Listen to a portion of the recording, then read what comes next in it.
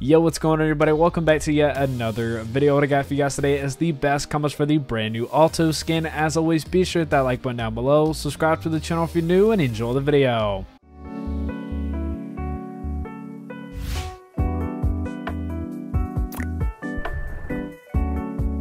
Now to begin the video for the best combos for the brand new Alto skin, we're going to first start by showing off the back blings.